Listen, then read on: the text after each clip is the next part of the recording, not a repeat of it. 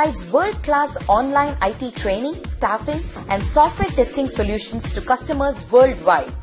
H2K Infosys, how we are different from our competitors. 100% job-oriented training, hands-on project work, cloud test lab, resume preparation and review, mock interviews, robust syllabus, one-time fee and lifetime access to classes, access to recorded sessions of live classes.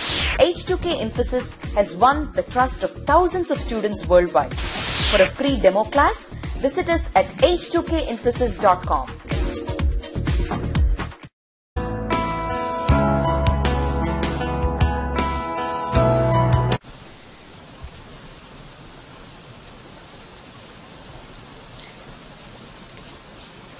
okay guys so let's start our session today so yesterday we had seen like what exactly is produce model on a very very high level with one or two examples.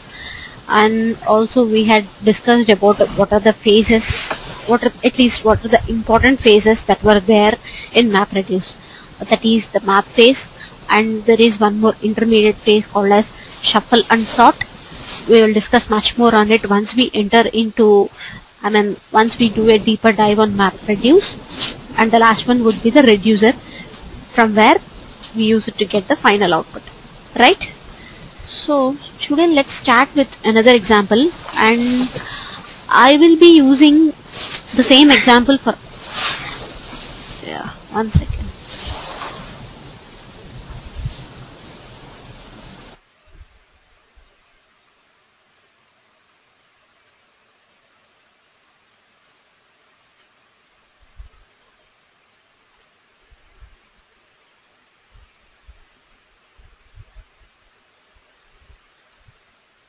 okay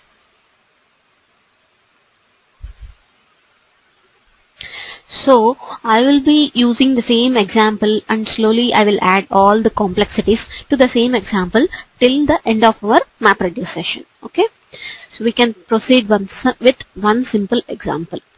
So that we will be much more it will be much more easier for us to understand. Okay let's take a let's take a case like I want to know like um,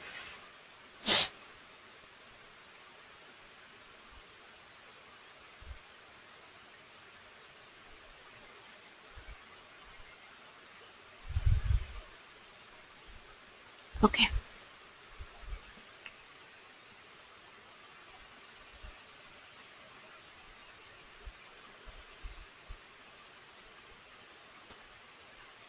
So let's take a cards example. We all know about the car about the cards game, right? I think most of one most of us have been very much interested on this also. So can anyone answer the answer this? How many cards will be there? Chochali? Super. Rahul is too fast. okay. 52 cards. Right. And how many ships are there?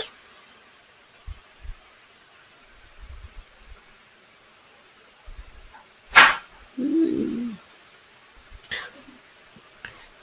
Good.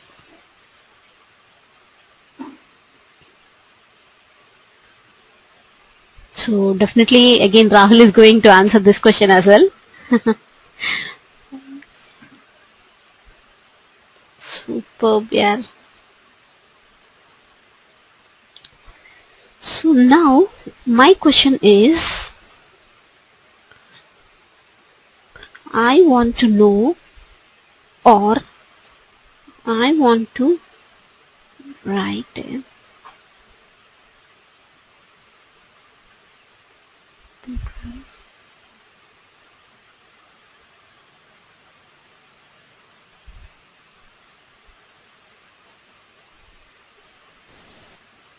So what will be my expected output for this?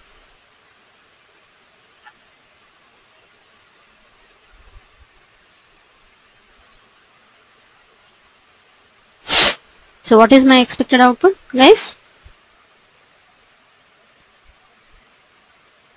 13 so maybe it will look like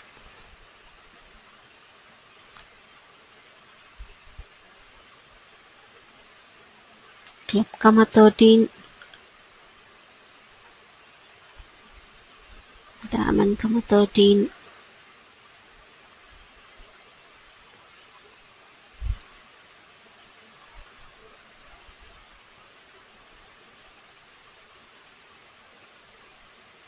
right?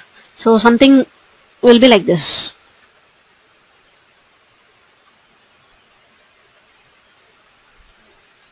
so if you try to understand this in the form of key value pairs my expected output would be key and the number of count of each card each card. That is the value 30 again the key and the count of each card. Again 13 so it will be club comma 13 diamond comma 13 heart comma 13 and spade comma 13 so this is what my expected output is.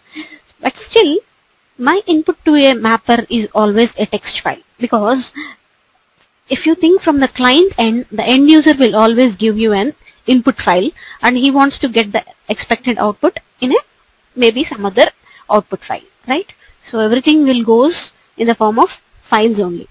So let's imagine that I have a card have an input file as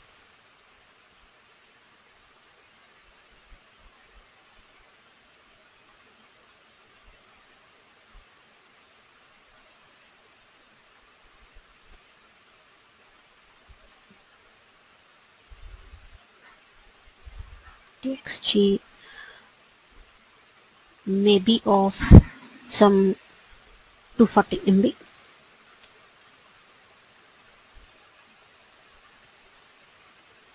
okay so let's imagine this this is the way. So if my input text file is of 240 MB uh, how many blocks it will be divided to?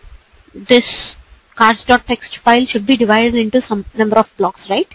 So if my default block size is 64 MB so then how many blocks I would get? Can anyone answer me?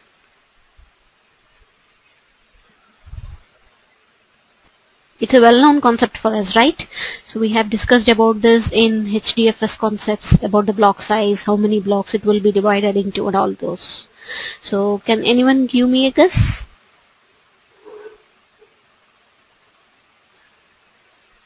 Come on guys. Okay. So Rahul is giving me an answer of 3.75 that is good but there is nothing like 0.75 block or something. So definitely there will be a block of 64 MB only but still right so totally 4 blocks. You will be having 4 blocks. So let me draw it as well.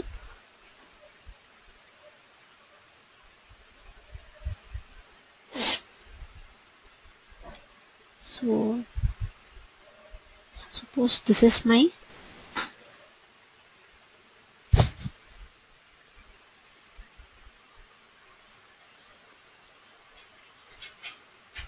input file right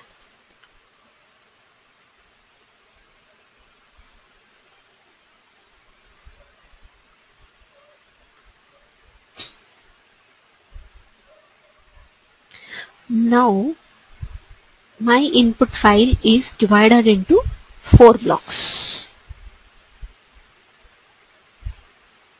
Maybe one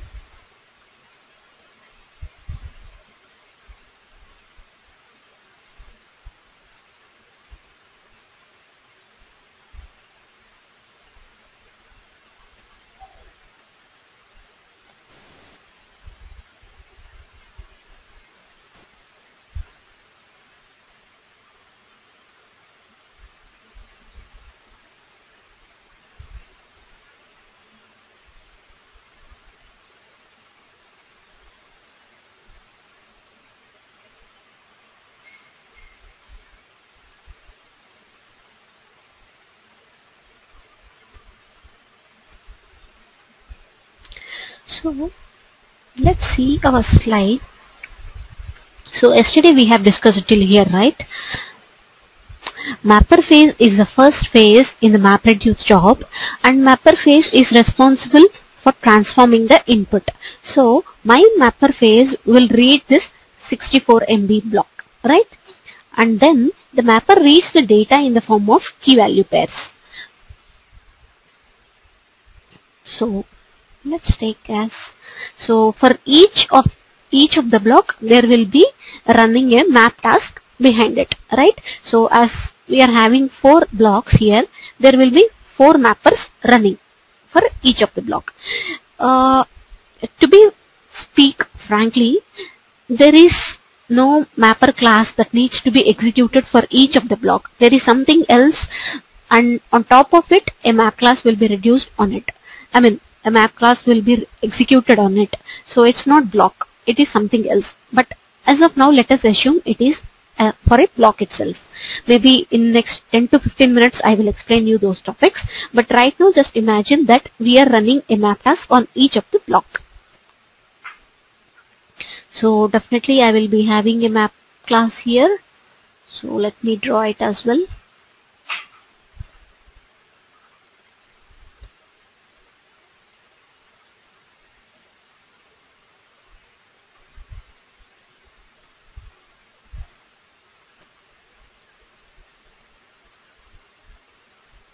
Right there.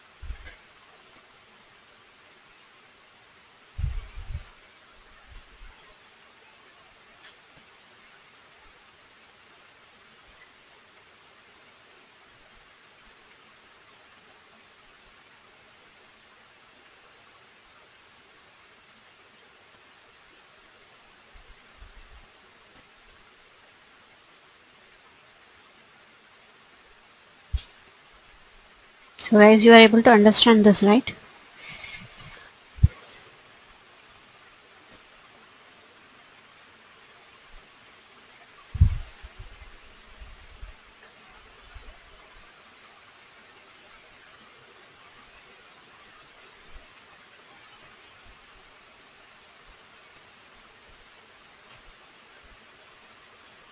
So there are four map tasks that were execute that were going to be executed parallelly.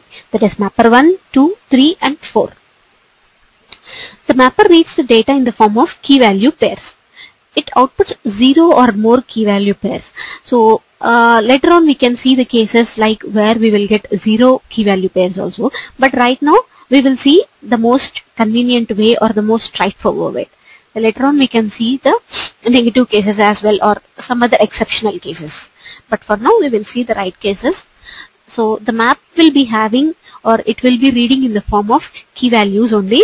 So the mapper 1 will read the 64 MB of block in the form of key value pairs only. But again there are different ways of reading this 64 MB of block in key value pairs. So there are different ways but let's imagine that mapper 1 is reading 64 MB of block in some way and it is able to understand it in the form of key value pairs because everything in Hadoop or everything in MapReduce in our cluster it can be understood only in the form of key value pairs only even though you write a Pig program or you even though you write a hive program as well internally it will be converted into MapReduce and once it is converted to MapReduce it has to it the cluster can only understand the key value format itself so that is a topmost priority and important thing that we have to understand. So the map will have and some input key and value and it will generate some intermediate key and value list. So let's imagine that this is giving me output as club comma 1. So these are intermediate values, right? So my mapper has been executed and it has generated the output in this form. Something like this, okay?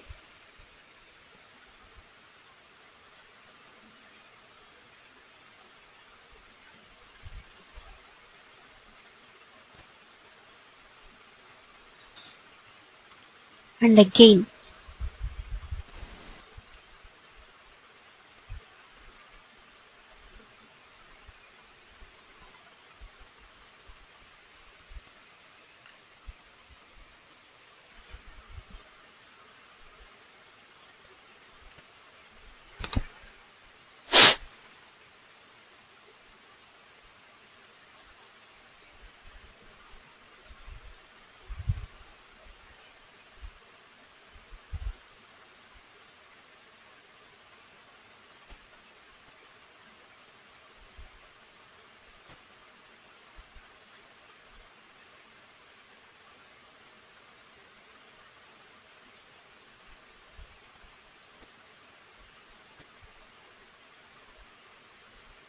And so on okay? Now you're uh, are you able to map me? Uh, just let me know if anyone is not able to understand these things okay? Because this is very important.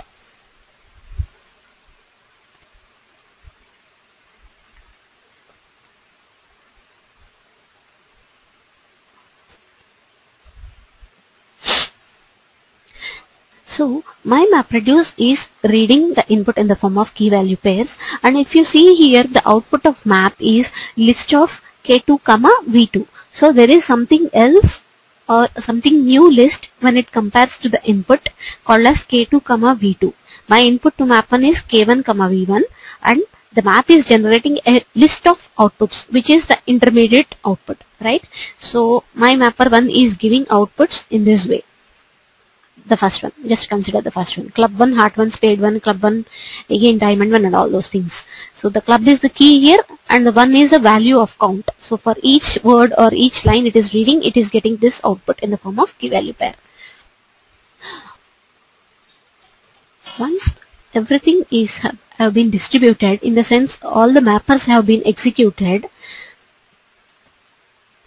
there is some phase called as shuffle and sort right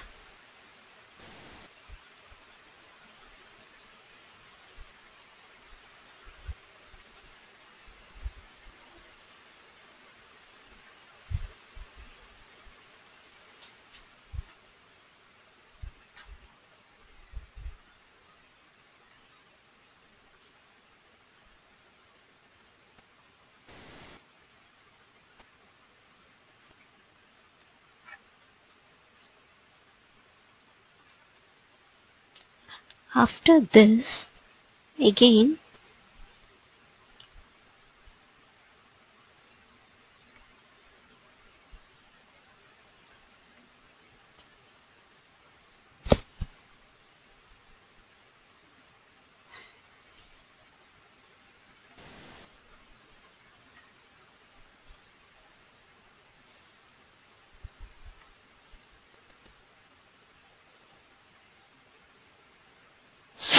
So finally my intermediate data have been passed to a reducer, right?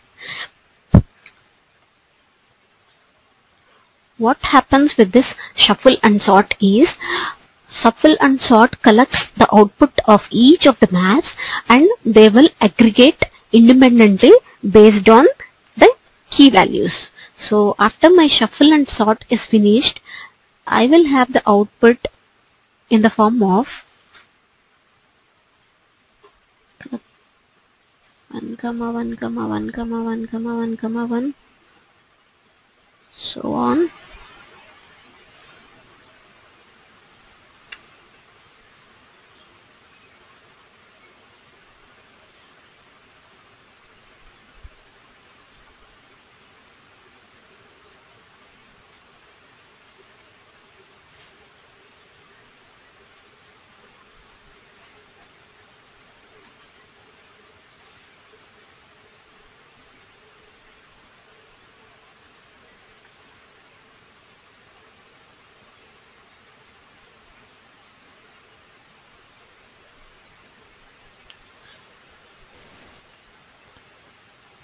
So now are you able to understand this? After my shuffle and sort, the reducer will collect all the output.